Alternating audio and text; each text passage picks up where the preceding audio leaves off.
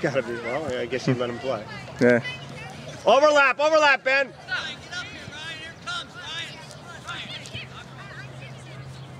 Ben's playing outside defender, but he's in the right spot. He's so make sure you put that in. Ben, you're in the right hmm. spot. Now you got to overlap or get back when the ball comes. You get ready to run. So I can point it to him.